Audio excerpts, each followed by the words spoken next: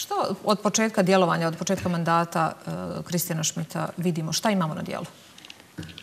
Od početka možemo posmatrati jedan niz skandala, jedan niz nesnalaženja, potpunog nesnalaženja i u pozadini jedan niz pristrasnosti. Dakle, gotovo je bjelodano da je visoki predstavnik pristrasan jednoj političkoj opciji, da on povlađuje etnonacionalistima ili da budem još precizniji, da povlađuje, Dodika se boji, a radi ono što mu dva HDZ-a od prilike sugeriraju. Da podsjetim naše gledalce, pa zar nije sam Plenković rekao ja sam izlobirao izmjene Ustava izbornog zakona Federacije Bosne i Hercegovine. Dakle, on je podložan lobiranju. Mimo ovoga nekog vrlo suspektnog ideološkog profila samog viskog predstavnika, dakle, ideološki vrlo sumnjiv i podložan lobiranju. Da, evo pa, ste spomenuli Hrvatsku, ali bilo je odlazaka i u susjedni Beograd.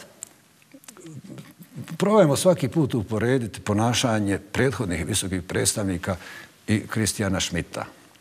Dakle, Kristijan Šmit gotovo ima neku uhodanu proceduru, nanese štetu državi Bosne i Hercegovine, pa onda ode u Srebrenicu, tamo memorialni centar, valjda da malo umiri Javnost. bošnjake ili kako već hoćete.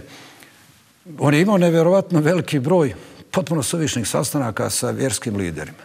Sjetimo se sastanka sa patrijarhom u Beogradu. Pa čemu to? Ko je patrijarh? U drugoj državi.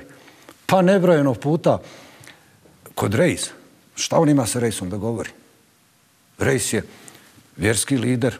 Oni se mogu naći na nekom prijemu i porazgovarati, ali učestali sastanci sa vjerskim liderima govori nešto drugo. Ja ove ljude ovdje smatram možda isključivo religijskom skupinom, a ne političkim narodom. I ključno je da ja odem kod Rejsa, a ne kod političkih dužnostnika.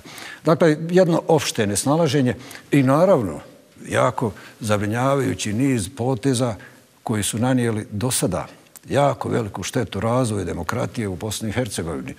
Obje njegove intervencije su bile Eh, suspenzija jednog dijela demokratije ili ono malo demokratije koliko ima u Federaciji Bosne i Hercegovine.